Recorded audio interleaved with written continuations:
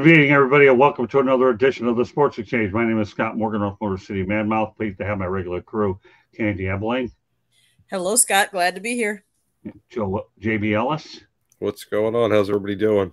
We're doing all right. And last but not least, my partner in crime, George Eichhorn, had a good Motor City Madmouth show. Now we get now we're on the show that we created another lifetime ago, the Sports Exchange. We sure did. Yeah. Yeah. Good. Good evening.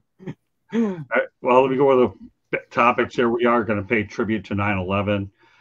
And obviously, it's a very tough day in American history. We're going to talk about the least and most expensive tickets in NFL week two. And we're going to talk about the Miami Dolphins and the Buffalo Bills tomorrow night. And we're going to talk, we'll also mention an Olympic note with the Canadian Olympic team. Erik Spoelstra is a possible replacement for Steve Kerr. And JB Ellis will have his own topic. He gets to talk about Jalen Brunson of the Knicks. Oh, there's a pretty good player there. So, with that said, let's take a moment of silence to honor what took place on 9 11.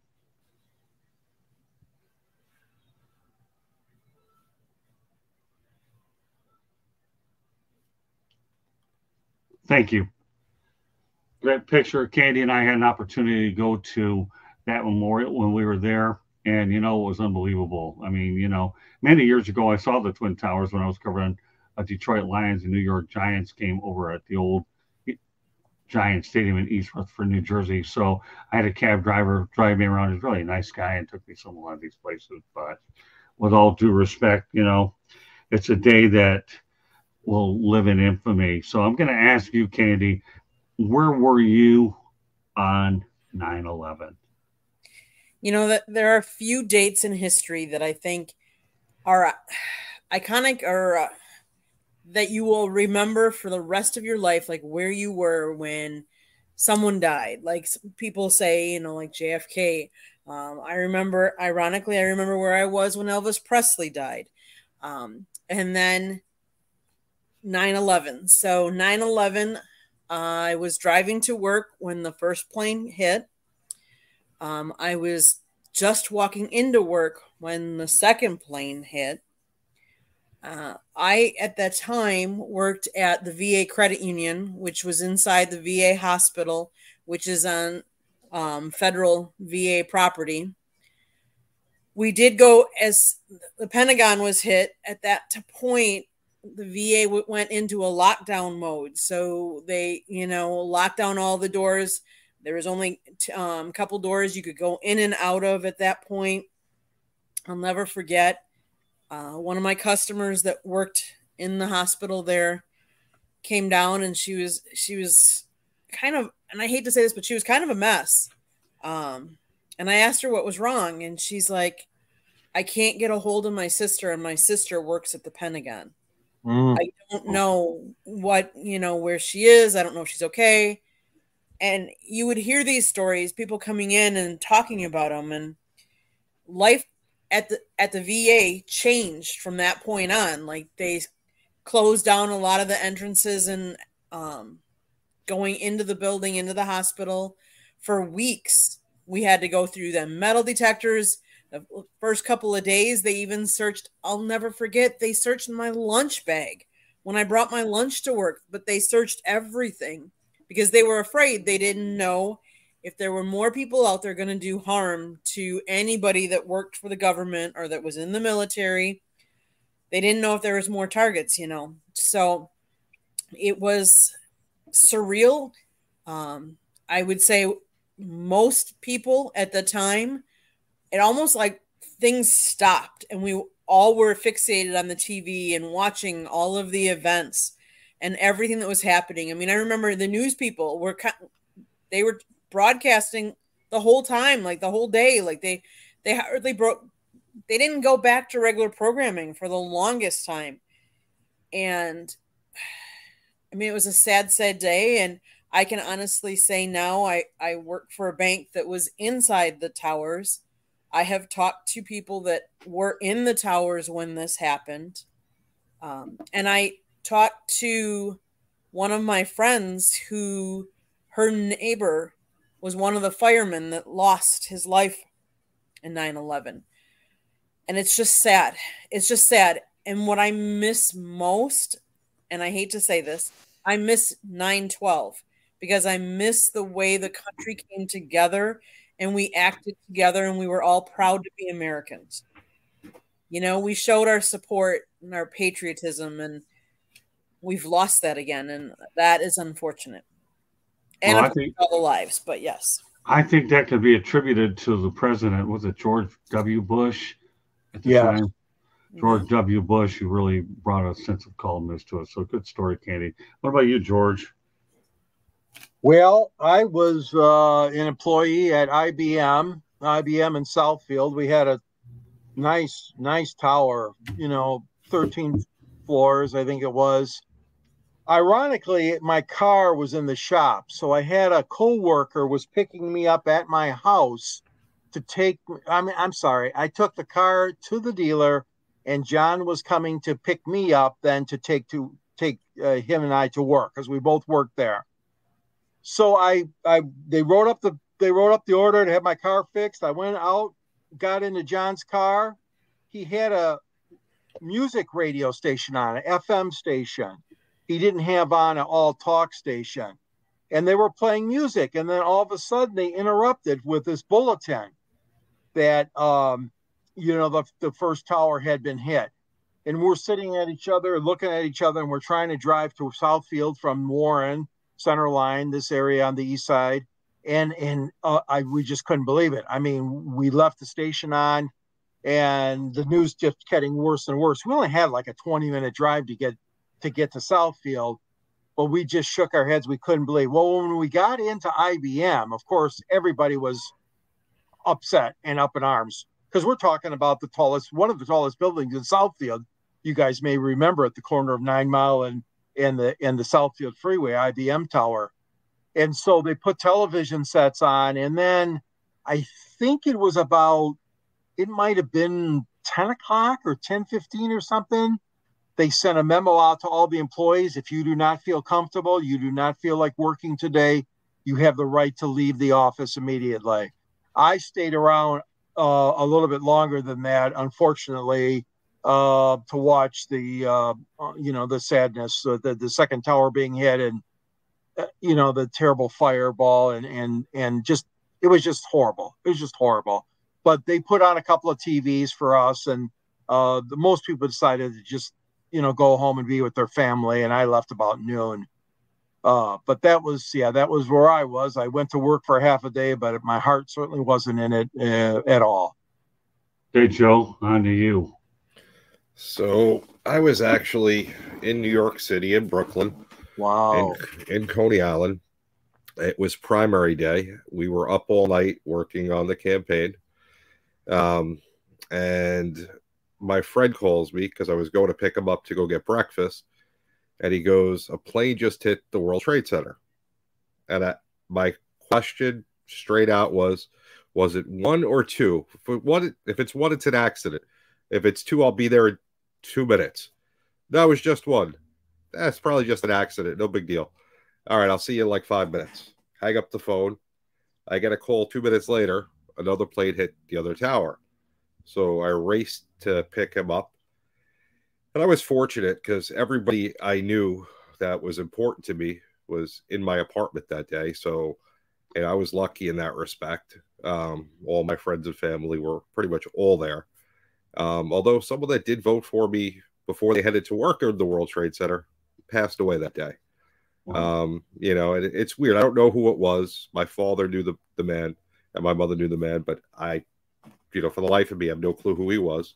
You know, and I heard the story uh, throughout that week. And I remember sitting there watching the TV and, you know, everything that's going on. Because when you prepare for months for an election and you're doing everything, and, you know, all of a sudden this happens, there, there's no playbook for this. And what happens with the election means nothing you know so we're, we're sitting there and we're just having conversation you know one of the guys that's there uh, his brother was on an express bus to manhattan he was very concerned which i understood you know we're trying to figure out what we're supposed to do next because we have no clue you know and you know, I'm not letting anyone leave at this point because I don't know what's happening and I'm not going to put anybody in harm's way. At least if they're with me, I know they're safe. You know, and we we all just stayed for a while. And like Candy said, the the only thing that was positive about the whole thing was, you know, that pretty much the day after everybody was we came together as one. I actually posted that on Facebook, Twitter, and LinkedIn today you know, as we remember the events of 9 11, it was horrible. It was disgusting. But at the same time, you know, the we all came together as just Americans. It didn't matter your skin color, your political race, your political uh, party, your race, your religion, anything. We just came together. Everybody was supportive of everybody. It was probably the nicest thing in the world. And it, it's a shame you know, it, listen, I was not a fan of George George W. Bush. I didn't like the man. He did a great job in that particular situation of keeping the country together, staying calm, you know, and listen, that's what a leader's supposed to do. You you know, you, you can't anybody can lead when things are good, you know, but when things are bad and catastrophic, right. how you lead says a lot about you. And you know, I give him a lot of credit for just his leadership skills. You know, every, everyone likes to make fun of George W. Bush about, you know, oh, he's not the most intelligent, this, that, the other. But you know what? When it came down to it, when the chips were on the table, he just went out there, he led, he did what he had to do. And I have a lot of respect for the man for that. Whether I agree with his political policies or not, that that's irrelevant because you can always talk about that. But who he is, who he is as a person, you know, I, I, was I was proud that he was president that day. All right. As far as I'm concerned, as I mentioned before, I lived in Arizona. But here's the thing: I was leaving my apartment to go to my attorney's office because at that time I was getting a divorce. So I'm driving down the freeway. No big deal. Go to my attorney's office, and he told me about it. I said, "Well, don't you watch the news?" His name was Harry Cawood, by the way. He, he worked out of Mesa. And I said, Well, Harry, here's the thing. I was coming to see you. So if I didn't watch the news, it's because of you. I had an appointment with you. And he told me about what happened. It was unfortunate for sure. Now, as I speed the clock up a little with this, okay, the New York Yankees would proceed to go to the World Series. And who was the opponent? the Arizona Diamondbacks. So now we got a situation where everybody, I don't know if the Boston Red Sox were rooting for the Yankees, maybe they were, who knows, was rooting for the Yankees, and I'm actually a Diamondbacks guy. And that was in an unbelievable World Series for those of you that remember back in 2001. Uh, the Diamondbacks did win it, by the way, four to three. But, you know, it's like we felt in Arizona, we were on an island of our own. Everybody wants to root for the Yankees, and they had every reason. We have not only do we have the Star Spangled Banner, but you know, God bless America as well. And and now they still play that song at a lot of major, you know, at a lot of ball games. I don't know if they play it with other ones. So I, it was unfortunate. You know, I've been there twice. I went with my cousin one time when they were actually rebuilding it. You can see, you know, the holes and a lot of the mess that took place. And of course, Candy and I had an opportunity to go there about two years ago. But Joe, I'm with you all the way. Okay. George W. Bush went out there and stepped up at the most opportune time to do what he had to do. But here's a little interesting sidebar to all of that. I'm going to a Deerfield Beach Observer Christmas party, and you know what? They had a lot of different types of people wearing, you know, lookalikes and there was a George W. Bush look-alike, and I did take a picture with the guy. well, and I'm thinking to myself, hey, this isn't so bad. It may not be the real thing, but I'll take it because, especially during that time, it was definitely a moment where you needed a great leader, and George W. Bush did a tremendous job. Sorry, Yankees, we didn't mean to bust your burst your bubble, but the Diamondbacks won their first ever World Series. So, and yeah, ironic, yeah, and ironically, two years later, the Miami Marlins beat the Yankees in 2003. I had to get that Marlins plug in, but don't feel too bad. The Yankees only have 27 World Series. We'll see when 28. And if our if our audience hasn't seen it, go back and YouTube and look at George W. Bush when he threw out the honorary first pitch at that first game back at Yankee Stadium in that World Series that Scott just referred to, because you got to absorb what was going on in that stadium and tears almost coming from his eye. And he threw a perfect pitch, a strike. The crowd went bananas. The umpires shook his hands. The managers, Joe Torre was there. Everybody, you got to look that up if you have not seen when Bush, uh, like like like you said, Joe. No matter what what your political persuasion was, it was just an historic event. It was a it was a uniting of this country, and and I'm and, and I'm glad Scott you brought that up with the going ahead to the World Series time. Hey George, oh. you he also had a bulletproof vest on as he threw the pitch, which You're, yeah, made it even more difficult. Right. Yeah. Yeah. Uh, well, we have a little activity in the chat room. Blows 22 is on. What's going on? We're going on. All right. Blows ass. I like that hat. Is that new? No, that's actually been on my shelf, but for tonight, I wanted to pull the red, white, blue out. That's why it's making its appearance on the big show. Looks like a mega hat with the red. Okay, if you say so. Pretty hard to argue with it. But yeah, I have a lot of different color hats, and tonight it was time to go with the red, white, and blue. Good stuff, blows. All right. Well, you know what? We got one more topic before we go to a station break, but no question that I feel we gave this topic a fair amount of time. It was great to hear the different stories from everybody as well. As well. All right. So let's talk about the least and most expensive NFL tickets in a week too.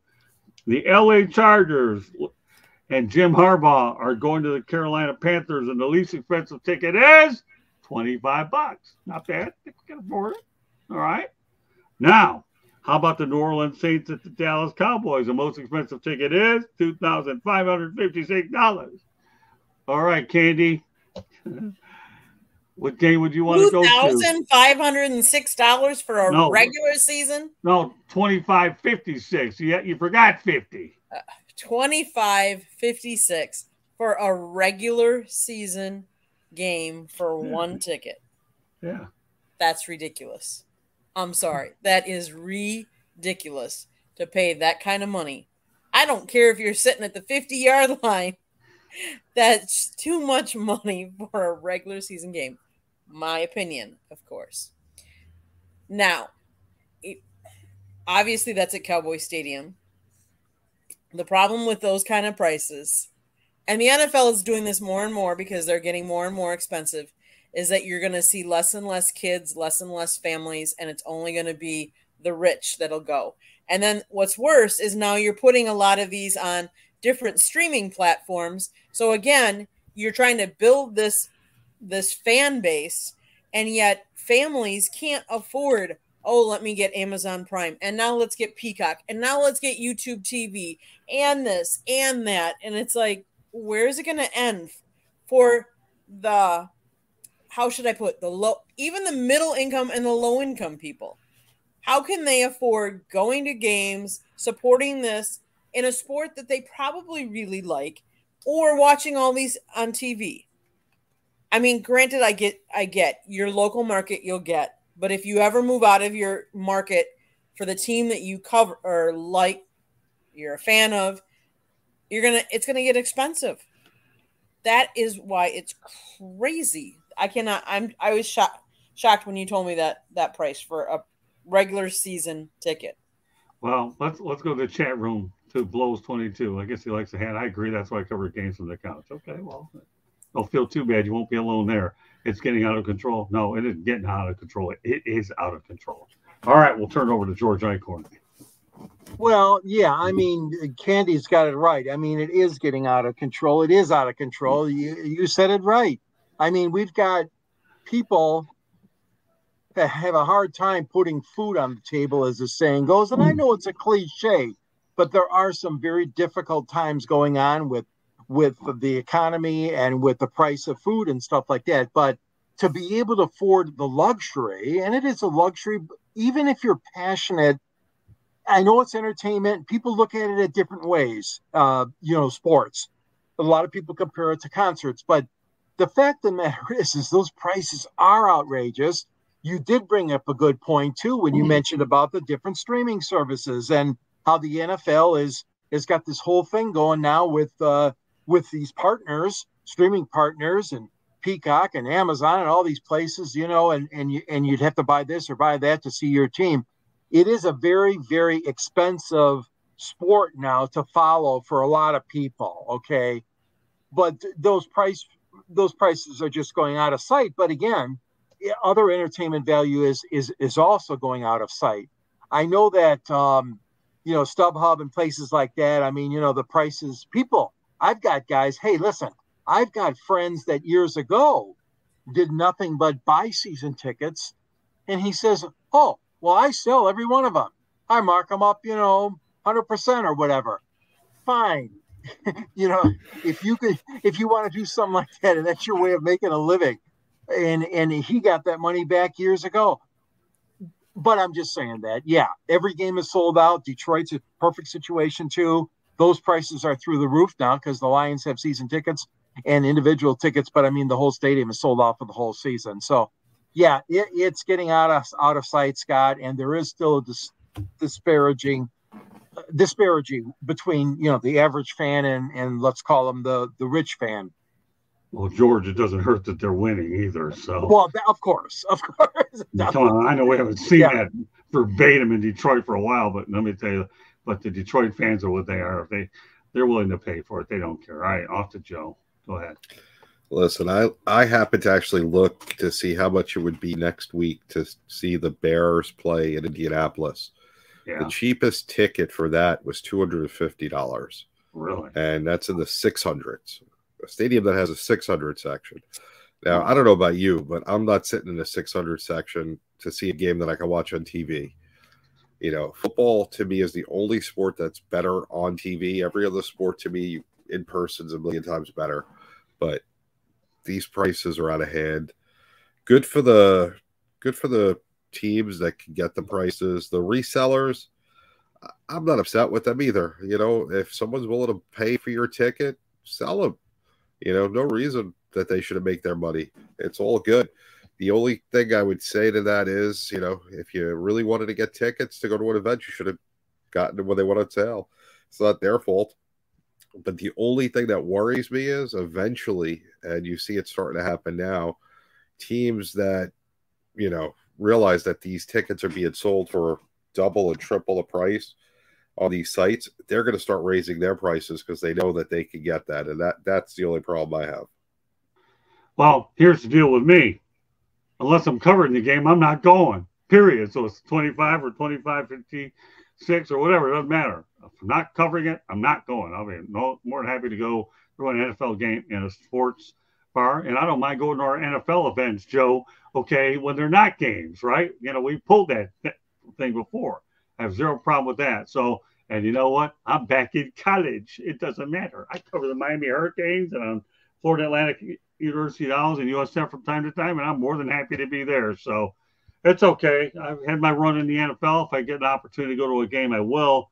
But there's no way I'd be any tickets. Don't have it. Been there, done that. But the one thing we haven't been and done yet is that thing called a station break, and we know the person that's going to deliver it, right, Candy? Sure. If you want to go to the tick, if you want to go to the NFL game tomorrow night, Bills versus Dolphins, cheapest ticket right now is eighty-two dollars a seat. So, in case you want to go, any of you South Florida people, you can buy a ticket, eighty-two dollars a piece. But the South Florida Tribune published a book last November called Lessons from the Microphone Tuning into the Enduring Wisdom of Visionary Leaders. It is written by your host, Scott, the Motor City Madmouth Morganroth, and the forward was written by none other than George Eichhorn.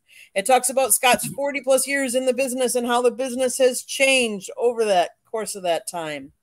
It also has a picture of young Scott with Muhammad Ali or a young Scott with Tommy Lasorda Go get your book today. It's available on Amazon, Barnes and Noble, Kindle, Google, and Apple Books.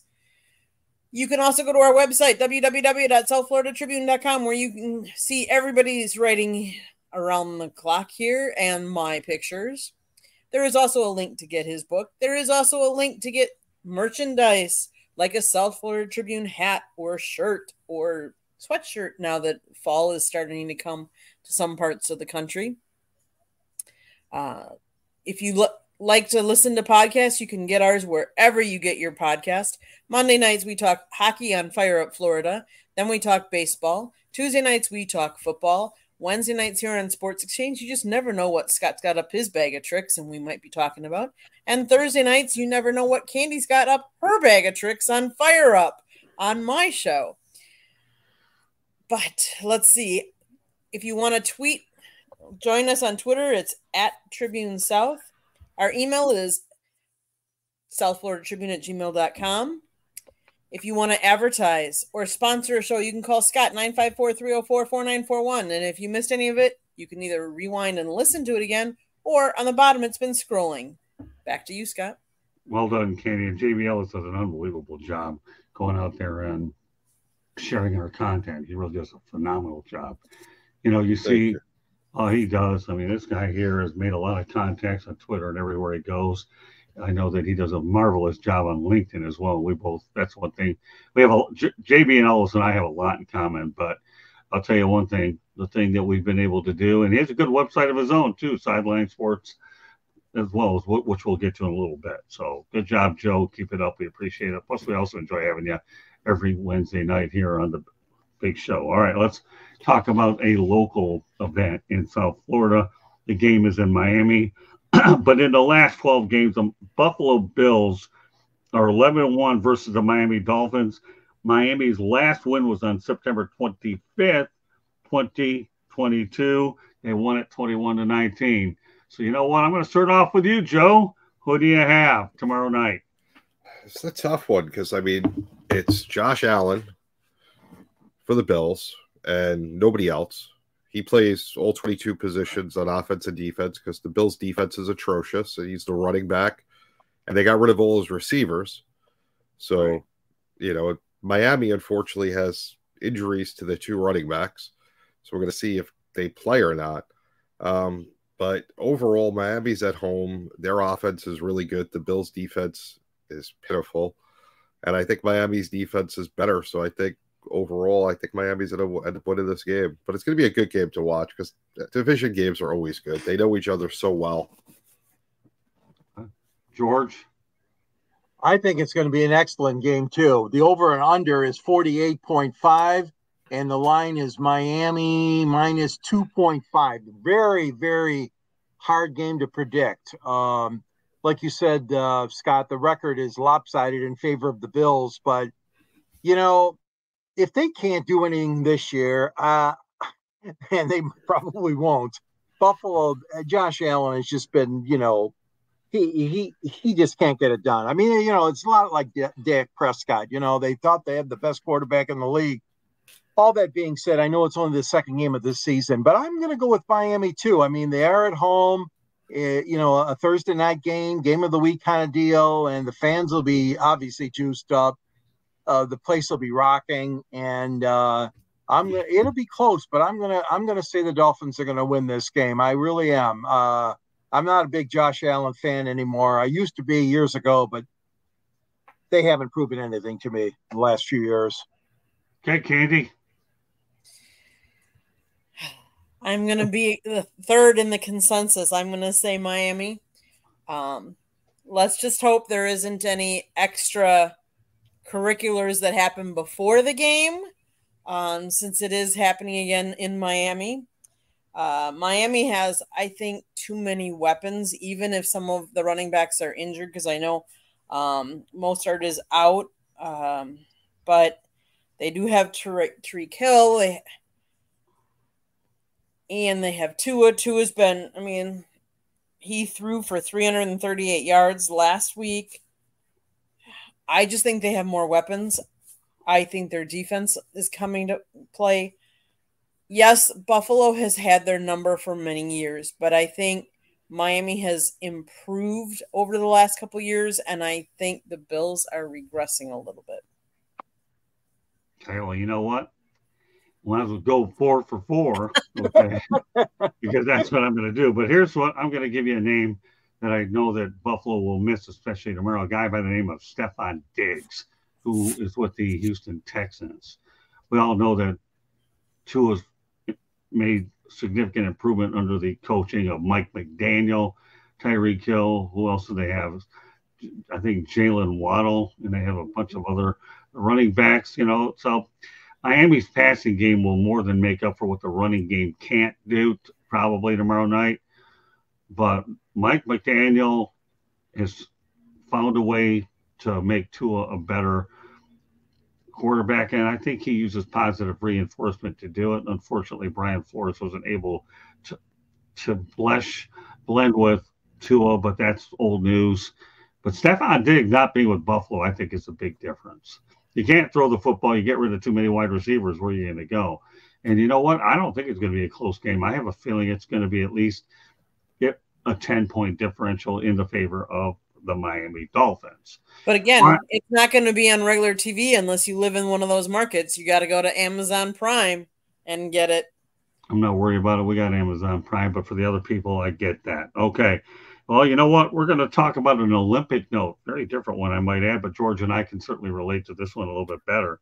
But Canada actually finished the Paris 2024 Olympics with nine gold medals, seven silver, 11 bronze medals, medals for a total of 27. Joe, I'm going to ask you first. Okay, does that seem low for a country like Canada, which is so wide and they have six, seven, eight substantial cities in there? I don't know. What do you think? Honestly, I have no idea when it comes to Olympic sports. I mean, obviously, the U.S. and China are so far ahead of everybody else. Um, Russia used to be, but with all the scandals and everything, I don't I don't know if they're allowed to compete anymore. I, will be honest with you. I was out of this year's Olympics. It, okay. you know, it, it, didn't do much to to make me want to watch. Um, I tuned to it sparingly. Um, you know, I I know the Canadians that are good at what they do always will try hard, but you know they're going up against countries that have more money that invest more into it. Um, you know, the U.S. Olympic uh, Federation is spends a lot of money, and these athletes, you know, put a lot of time into it. I don't know what if they're doing the same thing in Canada. I I'm not from there. I don't go there enough to to know what their regimen is for Olympic athletes, how serious they take it. But you know, I can tell you that you know that whoever's there from Canada always seems to put on a you know does their best, and I'm guessing that it's about right. Okay, fair enough. George, well, yeah, we're right across the river in Detroit from Canada, obviously Windsor, Ontario. Um, I I was a bit shocked by it. I'll be honest with you. I'm not the greatest uh, tracker of all the Olympic history, but boy, oh boy, I've I've I followed it pretty pretty closely ever since I was lucky enough to go to the 1980 Lake Placid Games, and to see Canada with nine gold, seven silver and 11 bronze and only 27 medals. 27 almost 100 medals behind the united states which had 126 in paris. And joe's right. I mean china's number two. Great britain. Oh my gosh. I, the brits did a great job this year. They finished in third and france was fourth. But canada i mean you know way down the list. I was really really surprised because number one I know winter sports are bigger in Canada. Let's you know, right. you know, probably than the summer ones, but still, um, they don't have a lot of things going on there. Of course, they love soccer and they love their hockey, but they're not as much. And and the CFL, I understand, uh, one NBA team only. But the fact of the matter is, is those athletes are trained and they're trained for all different sports. Canada is still one of the group of seven they call it nations where they have these summits every year every year these leaders. And i, I just found it really um, uh, uh, sad you know that a great country like that was down that far. I was surprised scott. Okay that's fair enough. Yeah. okay Can- candy? I'm surprised. They had 27 germany had 33 italy had 40 korea had 32 great britain had 64 netherlands had 34 france had 64 Japan had 45. Some of those countries are way smaller than Canada is. Right. Um, but yes, I agree with George. Like the Canadians are north, so they are more prevalent in the winter games. Right. But to be behind the United States, which we had 126 and they only have 27. Yeah, I, I'm surprised. Yeah, I'm just gonna say I'm surprised. I I would have thought they would have had way more, but fair enough. Yeah, I think the number is a little bit low too, 27. I, I view Canada if you're going to get at least 35 or 40, but it wasn't that way. And of course, George and yourself make an important point that they're probably better at the Winter Olympics.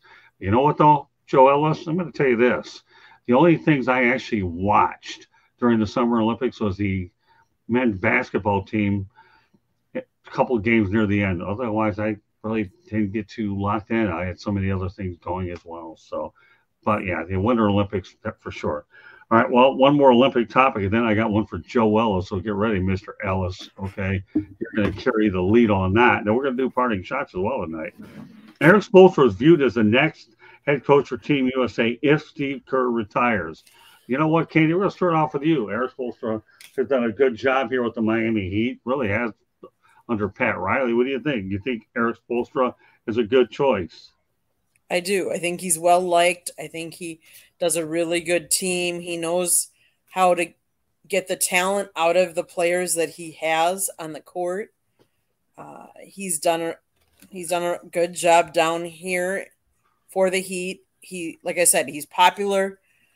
And when I and I think when you think of a coach for an Olympic sport like men's basketball for the USA, you you want somebody that is well liked and that um, can bring the talents together. And the other thing he did is, let's face it, there was one time when somebody announced that they were bringing their talents to South Beach, hmm. and there was the three of them, and there was a threesome that were all really good players. I'm not going to say elite. I mean, some, you know, obviously LeBron came down here, but he also had to learn how to help them with their different personalities play as a team together.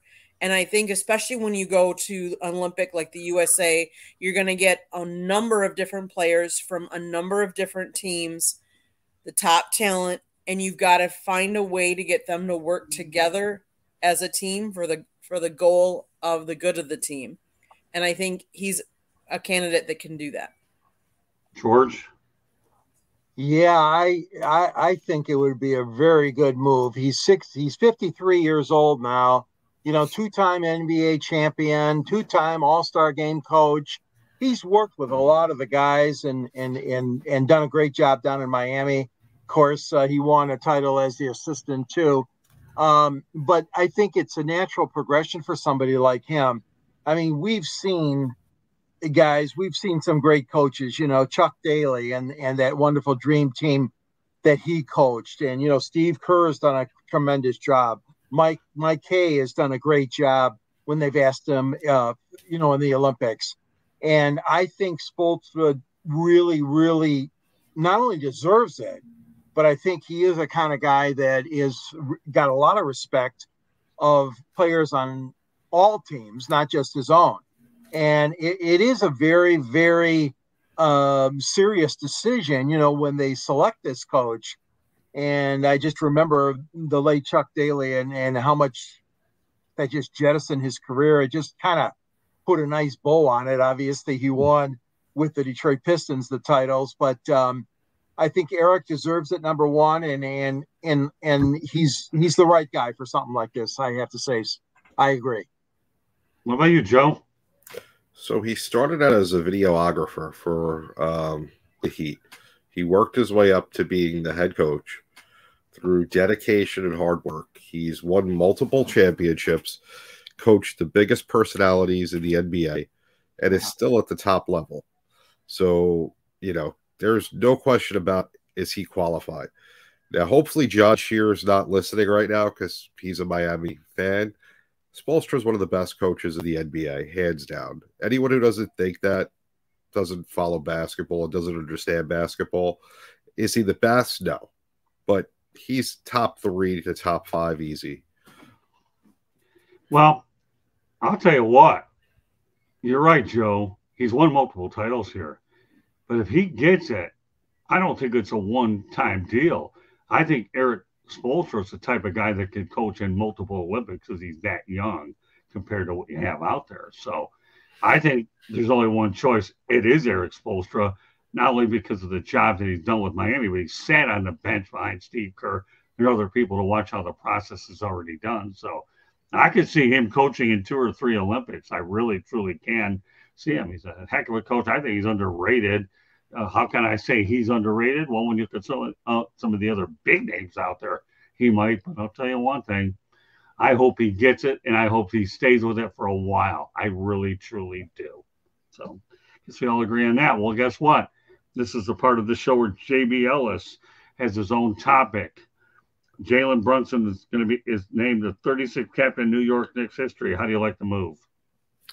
Listen, he was their MVP last year. They needed him, you know, when it, all the chips were down. They worked their way to a number two seed um, in the East, which was phenomenal. They were before the year, nobody thought of the Knicks as a threat. Um, obviously, they lost to the Pacers in the, the playoffs, which a lot of it had to do with injuries. And the Pacers played really good. They're a, they're a good young team, the Pacers. Um, but you know they outplayed the Knicks and ended up beating them in the series. Um, Brunson, you know, took over the leadership role. He was on the court. He was scoring, um, and he just he became the leader of the team. So I, I have no issues with him becoming the captain. I think he's to do a good job. Uh, you know, they have a, a good core of guys. A lot of them have Villanova ties, which is very strange. Brunson does as well. Um, but you know, it's like Philadelphia moved to New York City and they became the Knicks. And you know, Julius Randle's out there in left field because he didn't go to Villanova, but it's all right. They still love him. Fair enough. Well, now let's face reality. Tom Thibodeau and him worked well, and Jalen's earned their stripes over there. And I'll tell you one thing, I'll go a step further, Joe. I think Jalen Brunson could play in any era of basketball. I love his heart. I really do. And not only that, he took a little bit less money off the what he could have gotten to be unselfish to try to bring more players. I, I know this is your topic, but I just thought I'd implement that as well. So, with that said, let's go to parting shots. Joe, since you had this topic, you can lead off. So, I'm going to go with the Cubs because we did do a confidential tonight. There was a lot of things going on. Okay. All right. So, as of August actually no, September, I think third, the Cubs had 23 blown saves. Right now, they see themselves four games out of the wild card. Um, I don't know how many games behind Milwaukee they are, but if you cut those in half, they'd probably be in first place or right up there with the Brewers. Um, you know, this is a team that has a lot of good young talent. They're fun to watch. Last night, uh, Peter Armstrong robbed uh, somebody of a home run in the ninth inning. I want to say it was Max Muncy, but you know, West Coast games are so late. Uh, you know, who has the luxury of staying up that late to watch them? Um, pretty sure it was Max Muncy though. Bellinger has been unreal for the the Cubs. They're they hit more timely than they did earlier in the year. A Couple of bad losses to the Pirates last week really put the put them behind the eight ball coming into the wild card race. They're they're battling two teams, the Braves and the Mets, who are neck and neck right now. Mets won a great uh, come from behind game one uh, two to one today. They were getting no hit until the ninth inning. And Lindor had Lindor a game tying home run, and the Mets ended up winning, which is not good for the Cubs because it's another game that you know they, they could have picked up.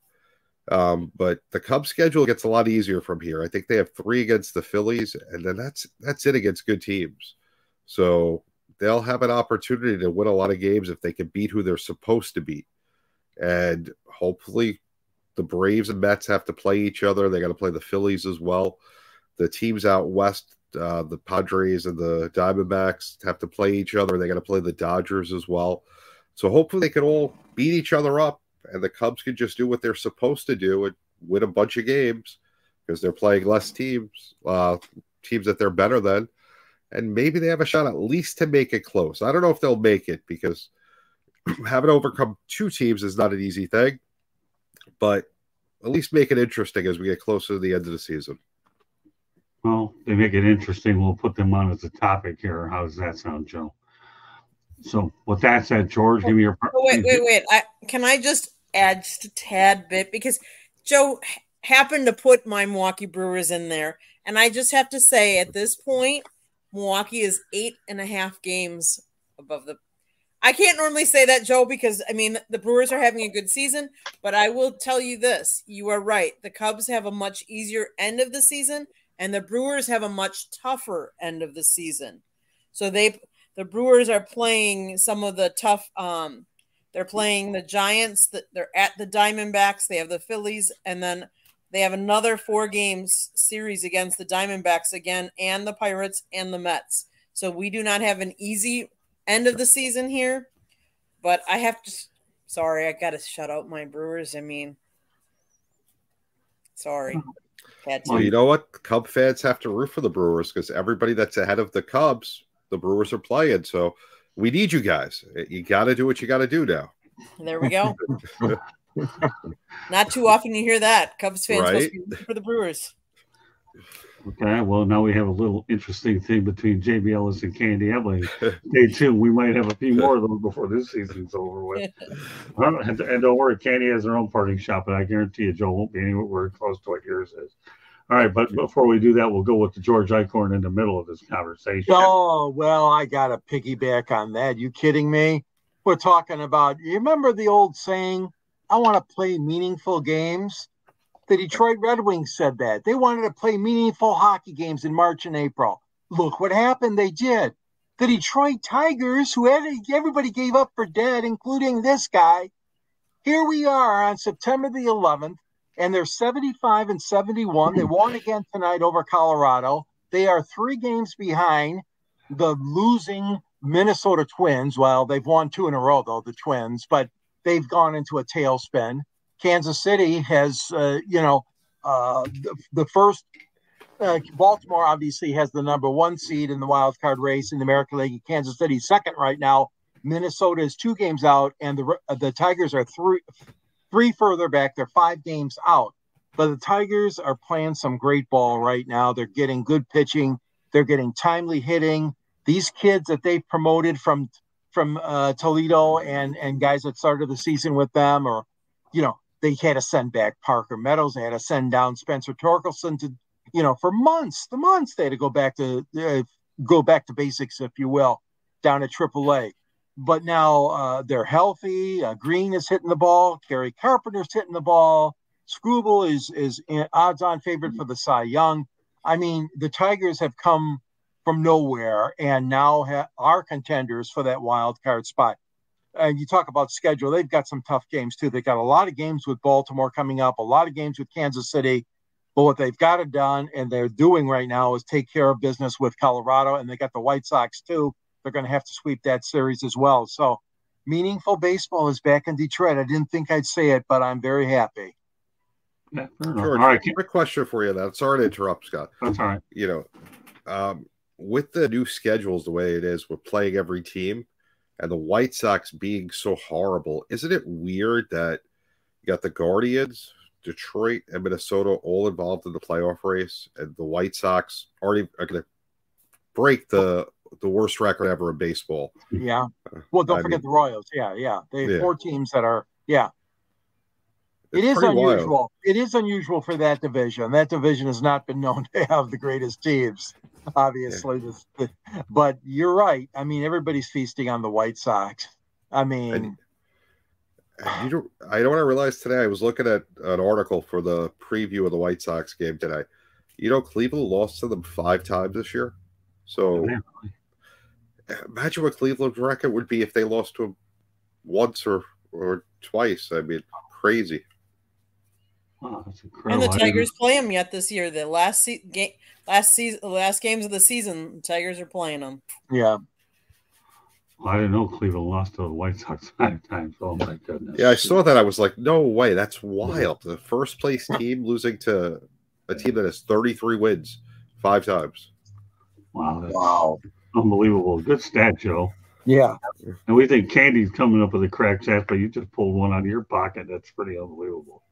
So, but you know what, Joe? I'm going to top you when I get to mine. Okay. Uh oh. Go ahead, Candy. So I'm going way different than all of you guys. Kudos to my alma mater. My alma mater is University of Wisconsin Whitewater. They had seven current or former members of the University of Wisconsin Whitewater's men and women's wheelchair basketball programs won gold medals at the Paris 2024 Paralympics. They defeated Great Britain 73 to 69 in the championship game, solidifying an undefeated run through the tournament, clinching the team's third consecutive Paralympic title.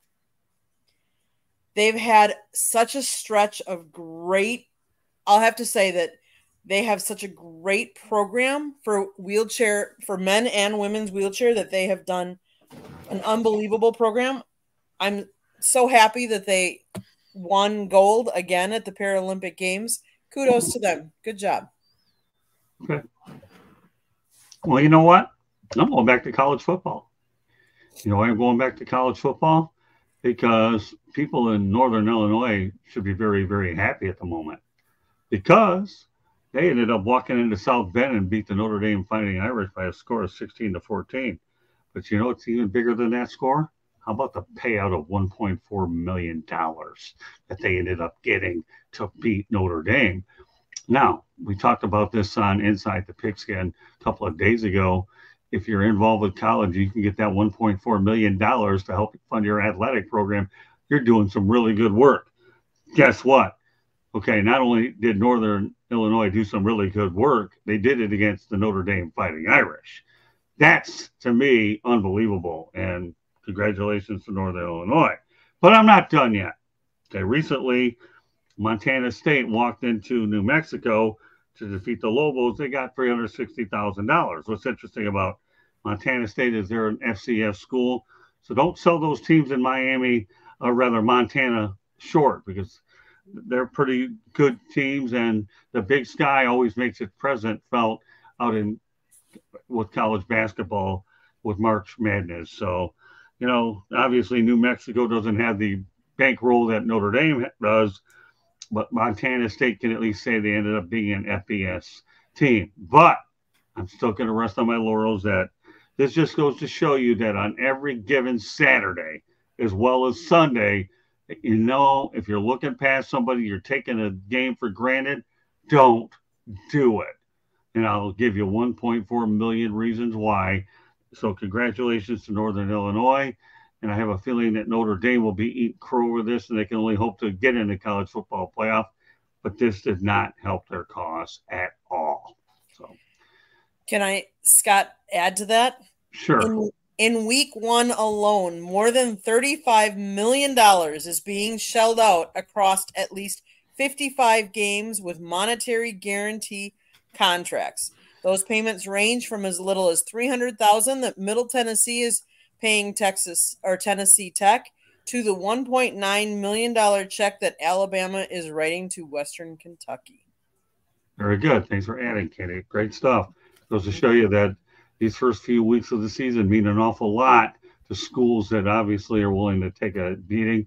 I work with a guy, Howard Schnellenberger, who took a lot of those beatings but you know what? He built the FAU program from scratch, and now they have an on-campus stadium. So I remember being a part of some of those games. And when FAU defeated Minnesota at Hard Rock Stadium, we were all rejoicing there because it was against a Big Ten school, and it was a pretty interesting game. So, with that said, this does complete this edition of the Sports Exchange. But we have a little business to take care of, and we're going to lead off with Joe Ellis. Tell everybody know how they can get you. Hold it, Joe. So JB underscore the program on X, sidelinesportsnet.com. Again, sidelinesportsnet.com. The website Candy built, we all write on. Candy's got some pictures of the rest of the people from Sideline are on there.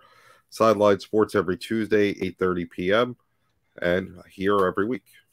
And of course, George and I write on there as well. So it's pretty good stuff. So with that said, okay, we'll go to George Eichhorn. Go ahead, George. All right. Yes, Scott's had a good book out there. He's got a good book, and you can pick his up and pick up mine. Mine is in the corners right over my shoulder here.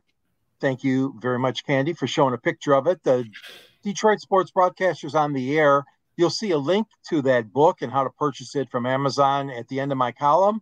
I write for the South Florida Tribune under the Motor City Tribune banner, contribute to JB Ellis's website as well.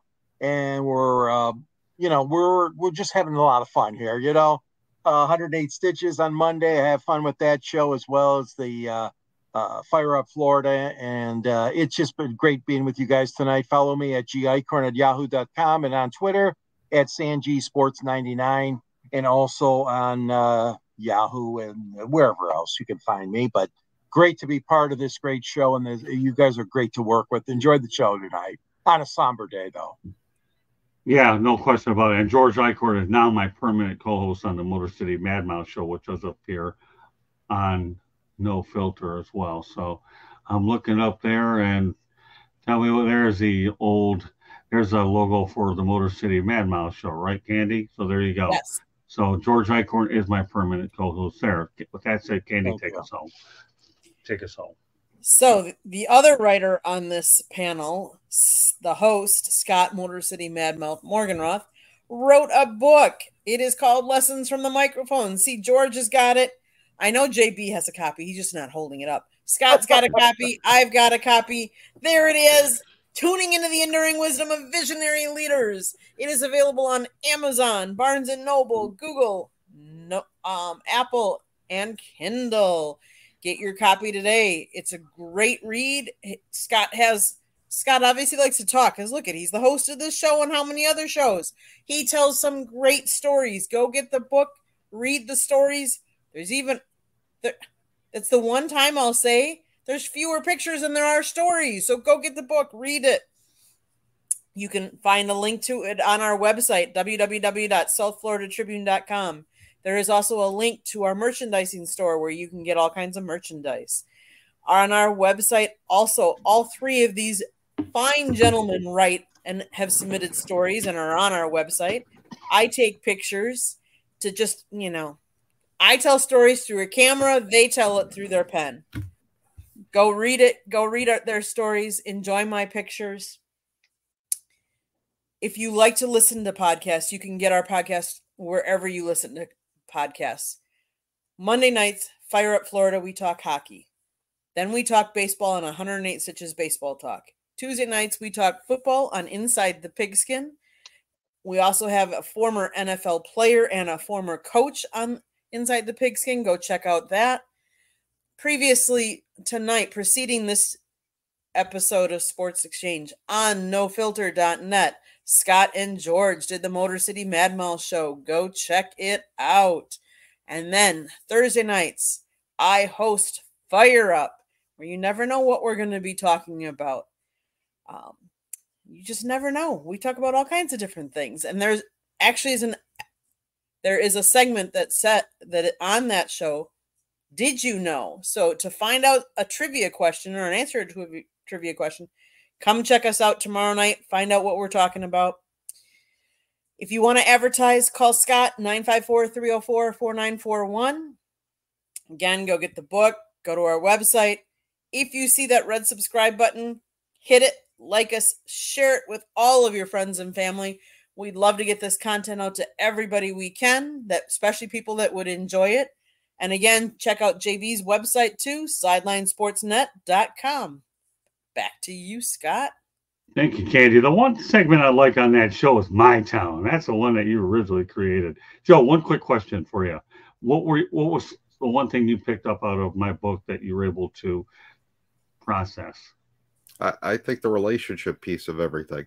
Okay. That's really the key to the whole business. Right. I mean, yeah. look at how long you know George. How long George is stuck with you. uh, I was kind of wait. I was kind of waiting for you to say that. uh, but you know what? That's okay. Uh, he's stuck with me, and I'm stuck with him. That's just how yeah. Hey, but you know what, Ellis? I'm stuck with you now too, so don't feel too bad.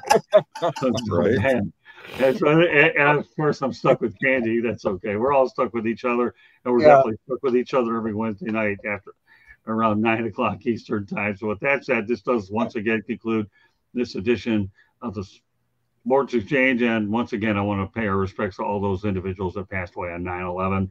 We're thinking about you in our minds and our hearts. And can't bring you back, but you know what? We can think about you. We always do. I think about them 365, 366 days a year. So God bless those people. So with that said, that does it. We'll see you next Wednesday night. Have a good night. Thanks. Good night.